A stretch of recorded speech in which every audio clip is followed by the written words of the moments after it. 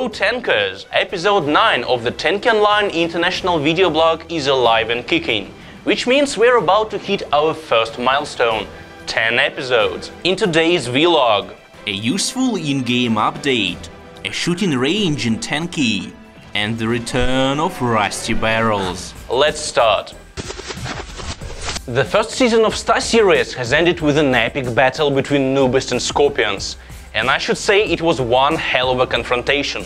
As you probably all know, Nubist won, proving once again that they're the strongest clan in the game. The fans event have also come to an end. We had 23,000 people watching the finals livestream at the same time, which resulted in double battle funds. Pretty impressive. Let's make sure the grand final of the second season gets above 50,000. We are about to finish working on a small but pretty useful update that will allow you to switch between servers right in the game. Time to tell you more about it and about what it will lead us to. You can currently choose a game server by either selecting it on the homepage or manually entering its number in the browser address bar. Neither of these two methods is really convenient. This is made clear by the number of requests we received by players for the in-game server selector. The necessity for this increased with the launch of Tanki on the VK social network and partner networks, where players don't have the functionality of switching to a different server. We will add a drop-down menu to the game interface, which will make switching between servers easier and faster. With the present system, the game reloads every time you change a server. With the update, resources that were already loaded will not need to be downloaded again. This will make the switch considerably faster. Moreover, if you do not tick the Remember Me box when entering the game, you will not need to log in again when changing the server. Implementing this functionality is a challenge because such a feature was not planned in the game's architecture. So a significant rethink of client-server interaction is needed.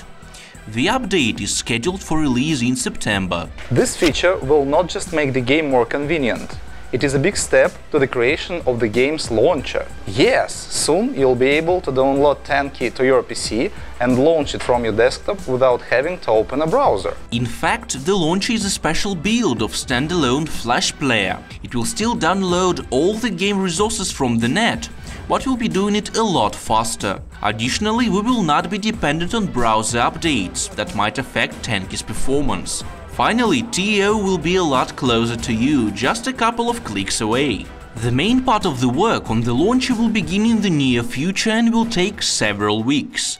We'll provide you with more info closer to the release date. We remind you that to take part in the video of the week, you need to send your cool action videos to this email address. Each week's winner gets 40,000 crystals. This time the prize goes to the tanker who made this video.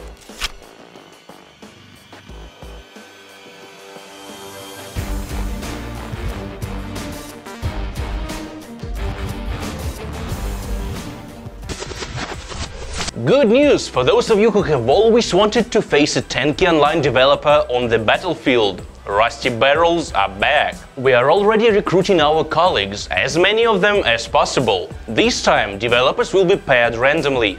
And now something important. If you have any ideas on how this event should be organized, or you have any advice to offer, speak up in this video blog's forum thread. The link is below this video. We are planning on starting the second installment of Rusty Barrels at the end of August. Don't miss it.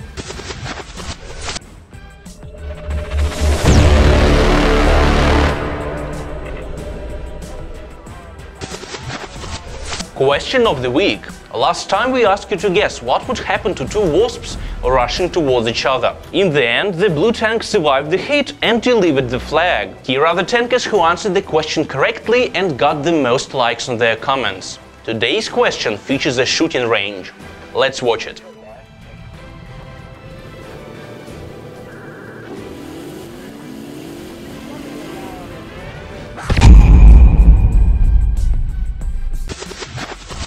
That's it for this week. We really hope you liked what you saw.